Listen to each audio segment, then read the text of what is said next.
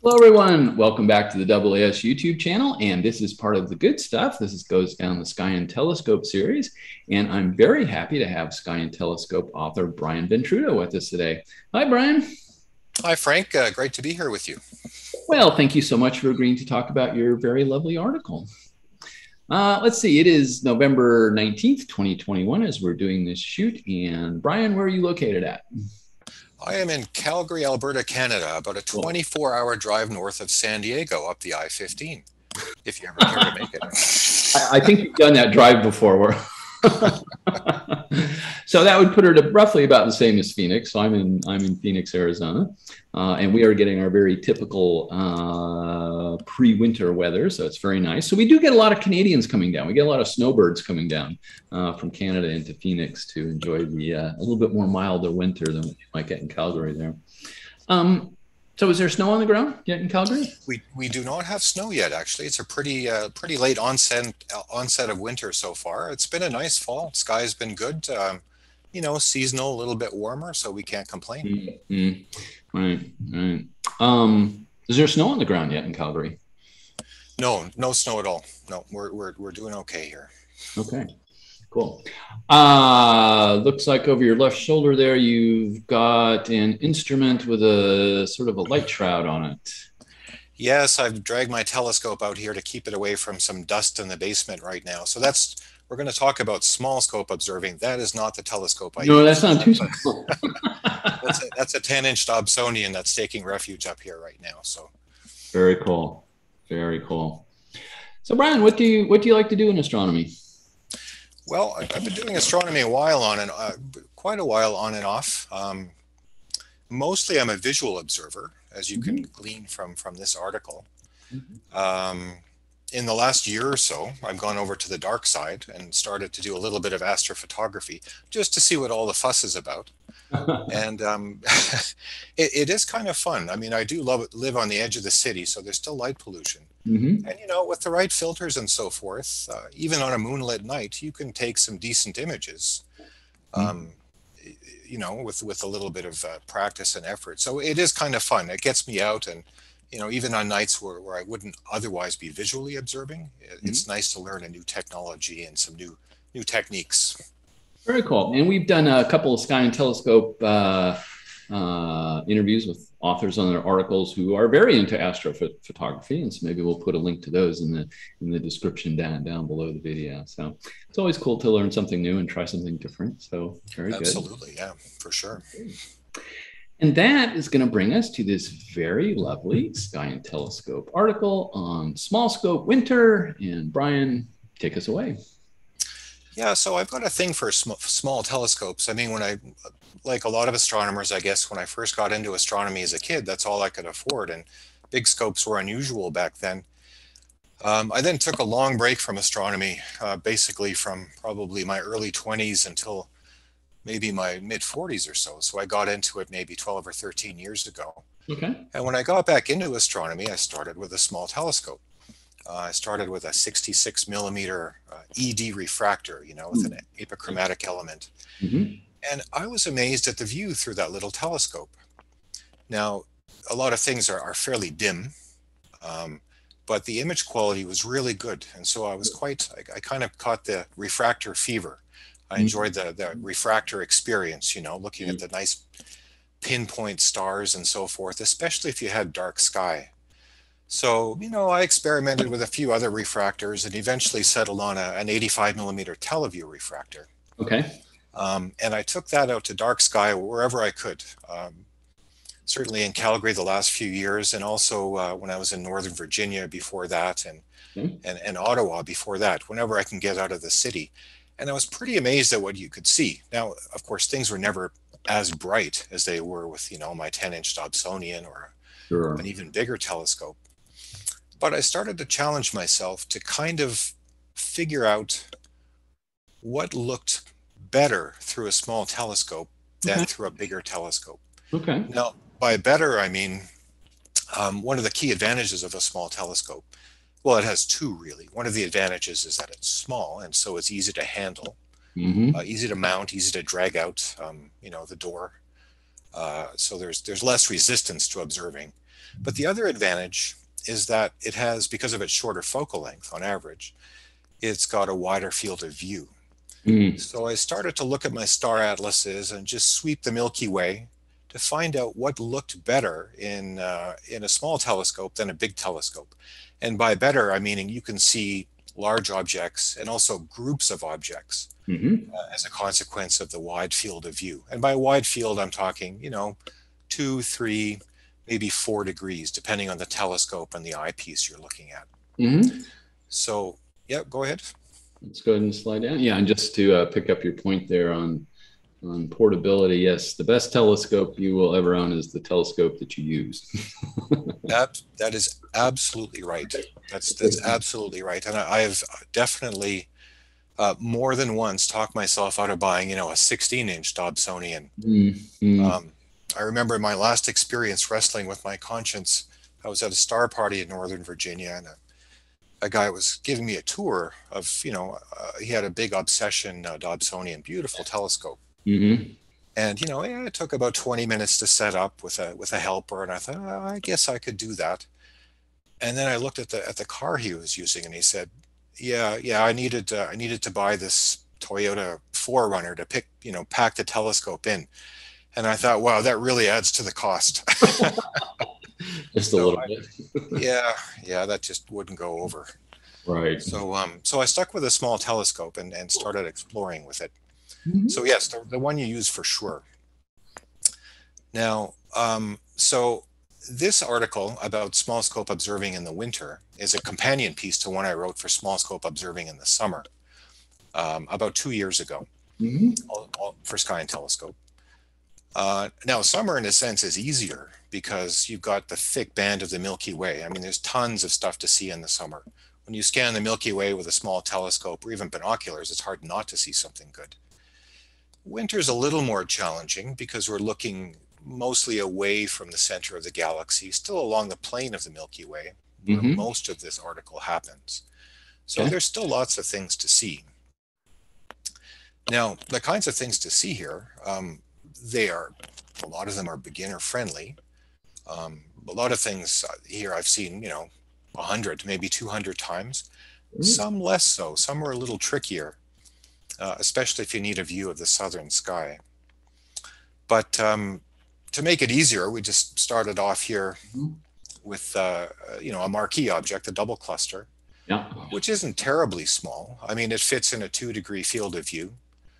Mm-hmm. Uh, just a beautiful object in any telescope that can that can take both of these uh, in at, at, a single glance.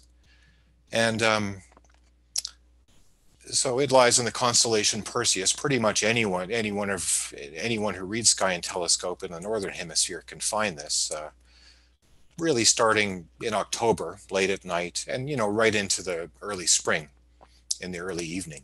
So it's a very accessible object, nice. and you know, just beautiful. And the, the thing I like about the double cluster, it's really one of the few objects of its kind anywhere and when I see an object like this, it's one of the few objects objects I can see that um, where I don't feel bad. I live in the southern hemisphere. You know, like usually there's lots of good stuff to see down there, but yeah. this is one of the real showpieces of, of the northern hemisphere. Very cool. And it's a you know it's an immense object. It's young. It's huge. As I mentioned in the article, if it was about the same distance as the Pleiades, it would fill about a quarter of the sky. So it's really an impressive object. Lots of color, Nice. You know, for a visual observer, it's just spectacular. Cool. But um, you know, if someone can manage a, a, bigger field of view, you can move down to the star uh, uh, Mirfak, Alpha Persei, mm-hmm. and see it's a, a, the attendants of Mirfak, uh, I call them, which are formally part of the Alpha Persei moving group. So, you mm-hmm. know, sort of a star cluster. They form together. They're still moving together through space. Yep. Uh, again, it's a beautiful object if you can manage a, a four degree field of view, like nice, bright, young, blue white stars. Mm. Just a lovely, you know, a lovely object for visual observing. You know, for someone who just likes the aesthetics of astronomy, these these two objects are just spectacular. Lovely. So these are the kinds of objects we're talking about. Like Alpha, yeah, the double cluster you could probably see with a six or eight inch telescope. But things like the Alpha Persei moving group, you need you need short focal length, wide field of view. Yeah. yeah. Now, there is uh, also in, in Perseus uh, the California Nebula. Yep. Okay, so just a beautiful object for astrophotographers. Um, and not a terribly difficult object for astrophotography, but seeing this visually is really, really difficult. So it's extremely, has extremely low surface brightness. You need absolutely black sky. Mm-hmm. And uh, probably a narrowband filter, like a, an H beta filter that will let through hydrogen beta light at, what is it, 486 nanometers or so. And even then, you have just just you know a, a, chance to glimpse the brightest part of, of the nebula but just seeing it you know is a, is a good challenge it's a good challenge yeah yeah it's uh, it's not an object for beginners I, i've just barely glanced it in in uh, um, um, in a slightly larger refractor i think i saw it through a 92 millimeter uh, stowaway refractor once at a star party so yeah it, it can be done mm-hmm. um, but it's it's tough okay and we got another one up here, stock two. Oh yeah, stock two, of course. right, right. So yeah, with the double cluster, if you can manage a wider field of view, you'll see a little kind of where your cursor is there. There's an arc of stars that goes yeah. from the double cluster up to kind of a it's it looks through an eyepiece like a stick figure. It almost looks like a stick figure man without a head. Okay. Um, and other people see it like you know a guy doing that. So it's called the muscle man cluster also. Yeah okay. Uh-huh. yeah it's I, I could i can see the headless guy through a telescope for sure. Okay. The muscle man i don't know. Mm-hmm. but again if you can get a four degree field of view this is really nice so. And just to see that little arc of stars coming up through. Mm-hmm. Mm-hmm. it's very nice. Cool. So these are the kinds of things you can see you know and if you want you know you can look at each of these things, a lot of people, when they first start, they'll look for a couple of minutes and say, oh, yeah, that's nice. And they go on to the next thing. But these are objects like with a small telescope, you can really savor them. You know, like yeah, I'll look at the double cluster for half an hour. There you go. And, you know, look for different, and especially nebula, especially brighter nebula, and you can wait for moments of steady seeing or when your eye gets more acclimated, you know, more yeah conditioned you know? It just takes a lot of patience to, to mm-hmm. see some especially these fainter things. Well that's good to hear right? Not everything has to be this uh, you know hit and run. Saw it move on next one. Yeah i mean that's that has its place i suppose and I, I do it sometimes too especially when it's you know minus 10 degrees here in the winter time these are winter stars. Yeah but uh, yeah, I mean, you can linger over these. I mean, there's enough in this article really to, to take you through uh, several weeks of observing if you like. Nice. Okay, cool. It looks like we got a couple down here in uh, Auriga, Capella. Yeah, I mean, this is uh, this is uh, you know a, a really nice patch of the northern Milky Way here. Comes up through Taurus and and Auriga you know, mm-hmm. down from Perseus. So we're getting a little south along the northern Milky Way here, if you like. Mm-hmm. Um, you know, in my opinion, you've got the little the three Messier objects 36, 37, 38. 37 is just a beautiful cluster. But uh, if you want a single field of view, you know, staying with the philosophy of the article, where we're trying to, you know, see things within a single field of view of a small telescope, yes. we're looking at M36 and M38, which you can fit in. Okay. Um, you've also got another vista with uh, you can see a little bit of the, the flaming flaming star nebula if you've got a nebula filter and just really black sky you'll just get a hint of a nebula here nice. much much more interesting objects for astrophotographers but just to see this is great mm-hmm. and we've also got um, AE Aurigae here which mm-hmm. is uh, um, lighting up the flaming star nebula mm-hmm. and which itself is an interesting object um, very prominent I, I think it's what uh, put myself on the spot here. It's either fourth or sixth magnitude. But this star, astronomers figure, um, started in the Trapezium star cluster, you know, in the center of the Orion Nebula. And uh, it was probably, you know, a bright star in a binary, uh, a close binary, and it interacted with another set of close binaries okay. and flung one of the stars out. So this the star is just it's just cooking through the interstellar medium here. It's come a long way in the last several million years and now finds itself in, in Aurigae. So I mean that's kind of a kind of a cool little thing here. Mm-hmm. Lots of proper motion on that one. It's moving. Yep. Nice. Very nice. Okay, so slide down a little bit. There you talk about M36, M37, Priscii, and then we come to the Seven Sisters. Yeah, I mean here here the I had to give it away, of course, halfway through the article. I, I actually had to call a spoiler alert when I was looking at the Orion Nebula. It really, it's I mean, other than maybe um, Eta Carina in the southern hemisphere, this is a especially the sort entire sort of Orion. Like this is as good as it gets. You know, even even total beginners will look through a telescope at uh, the sword of Orion and also the Pleiades and think, okay, where can I buy one of these things? you know, kind of gets them into it. so, yeah, I mean, the, the Pleiades itself is just is just beautiful. beautiful. Now, of course, it doesn't look like this when you look at it through a telescope, even a really good uh, small refractor.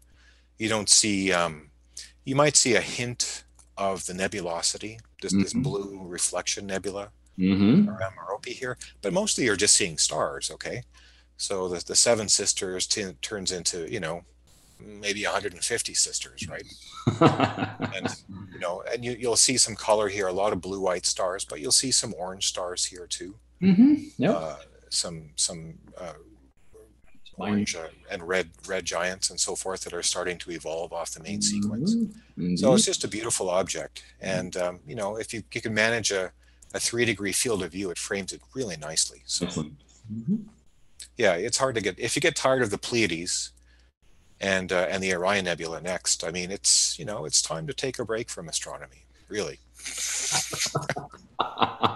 that's, that's a good litmus test. Can't appreciate the beauty anymore. Yeah, okay, let's uh, let's take a break. Yeah, which is fine, you know. I mean, that that does happen to all of us. It's happened to me in the past. Thinking, okay, I'm freezing.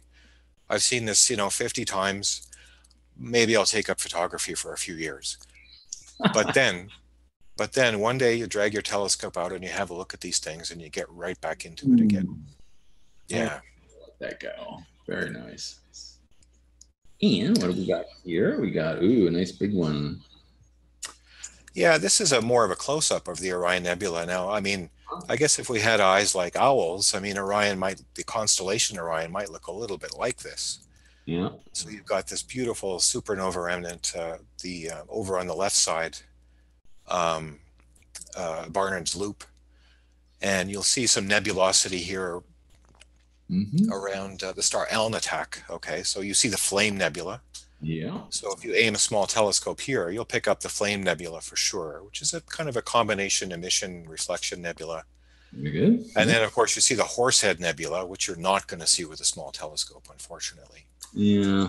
But you see some just some beautiful stars here. So you can see uh, the three stars of Orion's belt, which if you can manage, you know, four or five degrees look great in a small telescope. And mm-hmm. you will see the Flame Nebula also. Mm-hmm. And you mm-hmm. see this beautiful S, kind of an S-shaped group of stars uh, between Min- Mintaka and Alnilam. You'll see like a little snake of stars. It's not yeah. as prominent here because you see a lot of mm-hmm. nebulosity. Yeah, and this one. There's just, yeah, there's just tons of stuff to see here. And this image was taken actually um, the editor at Sky and Telescope, uh, Diana Hannikainen, uh-huh. asked, um, yeah, she's great. She asked, um, you know, who, if I had any suggestions for astrophotos. And this one is by Terry Hancock, who does just beautiful wide field work. He's in uh, at Grand Mesa Observatory in, in Colorado. Oh, he just does some amazing work here. Terry, that's a shout out, Terry. Yeah, yeah, he does uh, very nice work. And then, of course, the sword itself is what you can see with a small telescope. So you've got multiple pieces of nebulosity here. You've got M42, which is the main event, of course. Mm-hmm. Looks like a giant bat wing shape through a telescope. You know, kind of greenish, even even in a small telescope, you'll see some color. Mm-hmm. And then M43, just uh, just north of it, uh, beautiful. You know, and, and, this so this is all part of the, um, you know, the Orion Star Factory. I think people call it. So right. stars are just churning out here. So mm-hmm. you see newly minted star clusters like to the north of the nebula, NGC 1981. Uh-huh.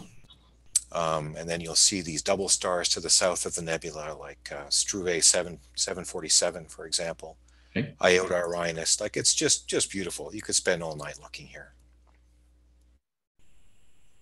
I encourage people to do so. Just fantastic. And then, you know, if you want to power up, you can also have a look. It's not labeled here because I didn't mention it in the article, to be fair, but Sigma Orionis, if you can find it, just, uh, oh, yeah, it's just, so it's just below, it's the bright star below and to the right of Alnitak. And it's a, it's a beautiful multiple star for a small telescope. Like you can see four or five components, Ooh, um, you know, at, at moderate to high magnification. And these are all, you know, they're, they're in motion, these stars. It's, a, you know, it's a real multiple star system. So Mhm. lots to see, lots to see in Orion. Eclipse. Cool. Very cool. And we talked about Pleiades, we talked about M42, the running man, and then we come down to an Ah, yes. unicorn. Ah, yes, the Rosette Nebula. So, so yeah, Monoceros. Um, you know, it's it's a pretty dim constellation, but there's lots of deep sky objects here, and I guess the showpiece is the Rosette, which Mhm. astrophotographers just love. Yeah.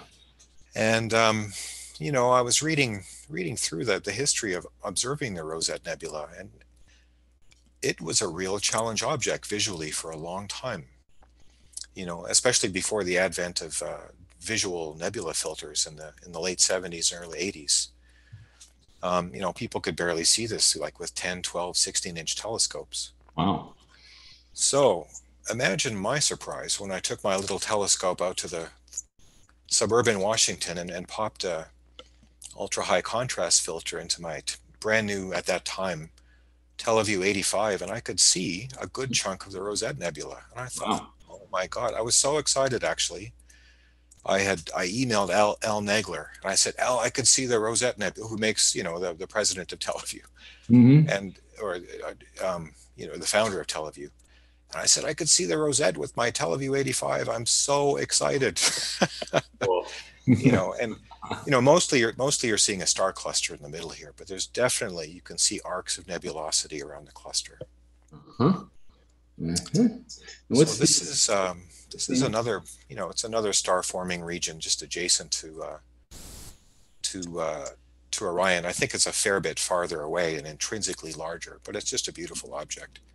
Mhm. So, you know, when you can see stuff like this through a little telescope, you know, and it doesn't have to be a an expensive telescope by any means. You just have to know where to look, Yep. get to get to dark sky, get a filter, and you can see this stuff. Cool. What's the inset here in black and white? So the insets are um, right. So the insets are different parts of the nebulosity. So they they were kind of cataloged separately. It's not like someone came along and said, "Here's the rosette. It's going to be NGC whatever." They saw little bits of it at a time and they mapped it out separately. So I think it's actually made of uh, you know three or four. Uh, three, I, I guess here we're showing three three bits of nebulosity with a cluster in the middle.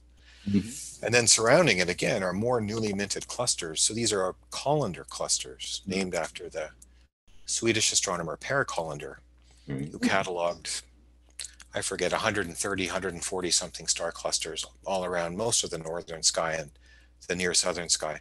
So we've got four Collinder clusters here, which are can be seen. Um, yeah, if you've got a you know three four degree field of view Mm-hmm.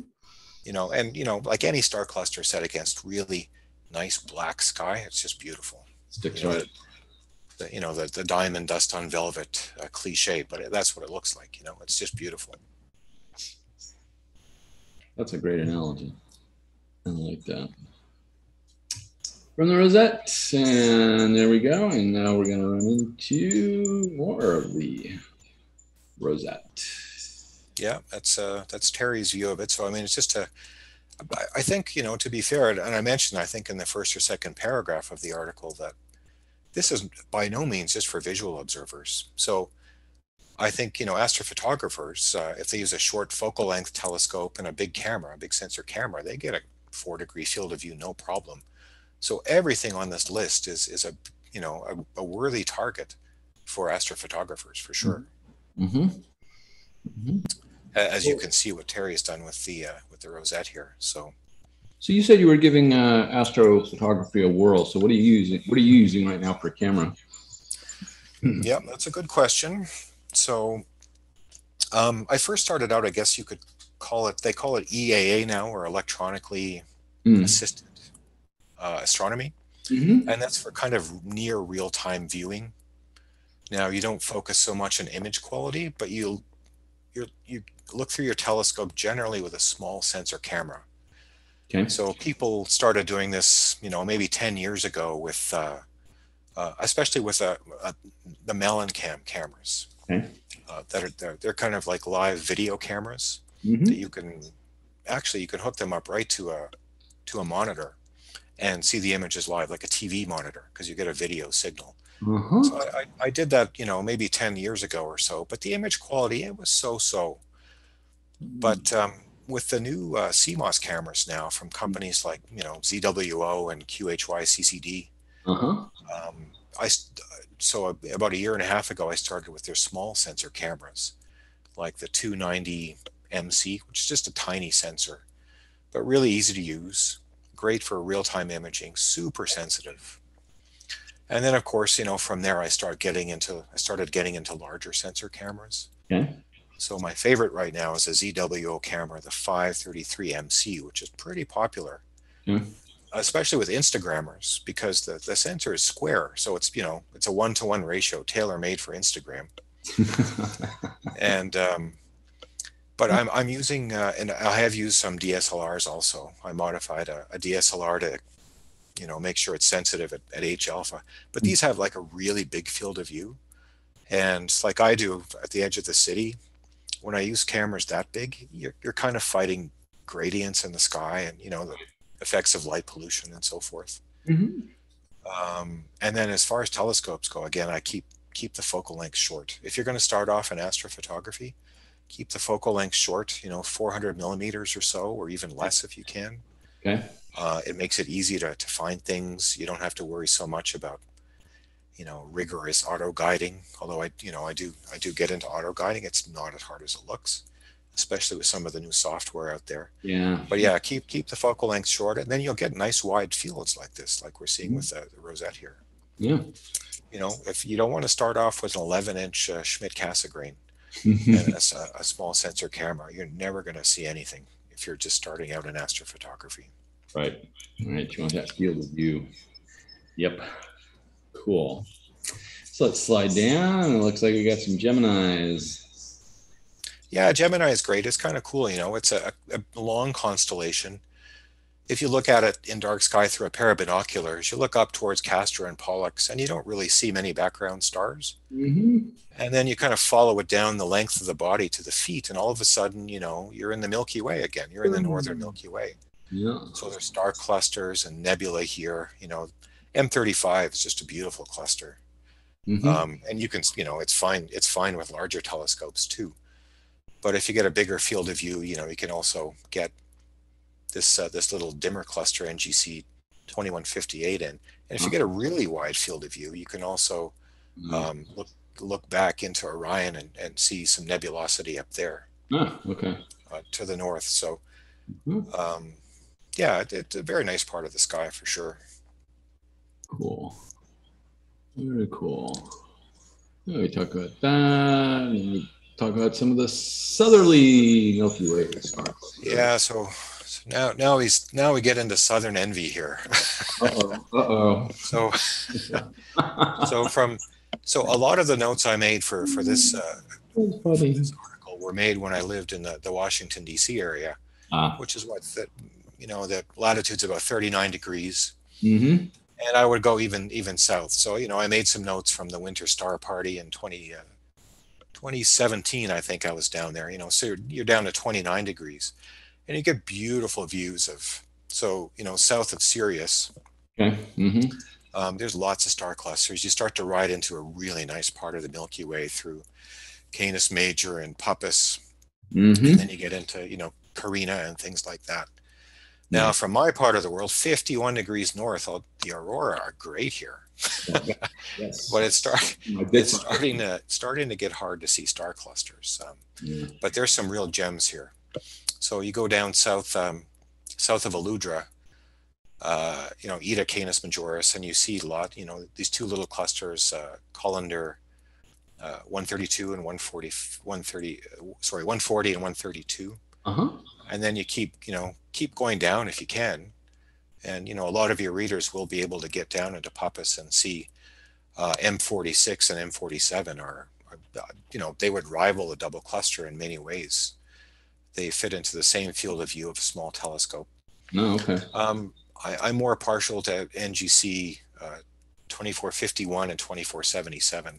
Okay. You know, they're not as uh, rich clusters as 46 and 47, and certainly not like the double cluster. But yeah, you know, the main stars are just beautiful, and the background here is spectacular. Like just a spectacular star background in the Milky Way. Like uh, you know, I, am a star guy. I, I got into it just just by uh, you know looking at. I always love light and stars more than galaxies. Like I'm not a deep, deep fuzzy guy, really. Right. You know, faint fuzzies like galaxies and planetary nebula. Stars are just beautiful, and you're going to see some really nice stars down here. Yeah, like fantastic. I like stars. Very cool. So yeah, Diana cut me off after this. I couldn't go any further south, and you know what? we can't see much from much more south and from North America, but this this is some of the best stuff right down here through Puppis if you're going to have a small telescope. And again, you know, a small telescope, you could pay a few hundred bucks for one. Doesn't have to be an apochromat, but just a, you know, 400, 500, 600 millimeter focal length and a good wide field eyepiece. Mhm. You can see some really amazing stuff. Nice, nice, nice. So that's kind of the philosophy of the article. And again, the one I did, I, f- um, I forget the year exactly, but uh, um, the uh, uh, the small scope summer one was the same philosophy. Mhm. And there, you know, there you like your the article was limited by length. You know, you could go on for twice twice as long. There's just so much to see in the summer sky with a with a small telescope. Sure. Very cool. Very nice. So yeah, I mean, people that are stuck with small scopes or they're bored with their small scopes, I was hoping both these articles would give them a little inspiration to start looking for things, you know, their own favorite wide field vistas that they could see visually or astro astrophotographically, you know, that look better in a small telescope than, than in a large telescope. That's kind of the philosophy of the article here. Do you remember the month and year when the summer, um, the summer small scope article came out? Um, I am drawing a blank. Oh, it, it's actually, if you go back up to the top, it's referenced in this article. Ah, okay. Yeah. The time. The next page. And where are we here? So it is in August 2019, and okay, very good. small scope summer. Ah, there we go. Very good. Cool. We'll put that in the link too. Brian, I want to thank you so much for walking us through this very lovely article on small scopes. Well, it's been my pleasure. It's been my pleasure, Frank. Sorry if I got carried away, but I, I do like this stuff. Chat away. That's what we're here for. Absolutely wonderful. So, um, you kind of hinted at it a little bit, maybe in some direction. So, so where do we where do we go from here? Are you anticipating uh, taking an extended trip to the southern hemisphere and doing a pair of articles uh, in the southern hemisphere on small scopes? Do you have uh, other articles or other books coming out? Because I know you, you do some writing. Um, Yeah, well, the first one, I had my telescope packed and ready to go for a trip to Chile nice. in April of 2020. Not good. and we started to hear about this this virus going around and my Not wife good. says we're not going to chile i said no Yeah. it's not going to be that bad it's not going to be that bad and we didn't go to chile It was, it was that bad. it was that bad yeah so that trip's that trip is still in my future and i will de- Cool. definitely bring my my little refractor down there Very nice. um, in terms of articles i do have one uh, in the hopper for next summer for again for an observing article Mhm. Uh, I'm going to have a look in and around the constellation Ophiuchus, if I'm not mistaken, Okay. around a little asterism that always interested me. It's called Taurus Poniatowski. It's this little, it looks like a little bull-shaped face just off the, I think the the eastern side of Ophiuchus. And there's some star clusters around there. There's some double stars, like Barnard's star is around there. Mm, A lot of close double stars. So so we'll cook that one up for next summer. Cool. And then uh, I'm also I'm also trying to screw up my courage to, to pitch a, a science article uh, for Sky and Telescope. Also, I did one of those last year on stellar archaeology, which was uh, which was a lot of fun. Yeah. um, about looking at low ma- or low low metal stars Mhm. in small galaxies around the Milky Way to try to figure out how these galaxies formed. Mhm. Um, so yeah, I'm looking at another another science article on uh, yeah, I on remember. the- stars that uh, that uh, when I get a bit of time I'll pitch. Yeah, I remember the uh, stellar archaeology because it was nice. Very good. Yeah, Yeah. yeah, it's a very very interesting subject. a very interesting. So I mean, they're taking spectra of these, you know, 15th magnitude stars with 10 meter telescopes, Mhm. and you know, like multiple nights just to get a spectra of one star. I mean, that is one expensive spectra. It is. yes, it is. Yeah, yeah, those time allocation committees that it's worth sitting on for that long because Yeah. I forget yeah, what yeah. They, they were very persuasive, very persuasive for sure.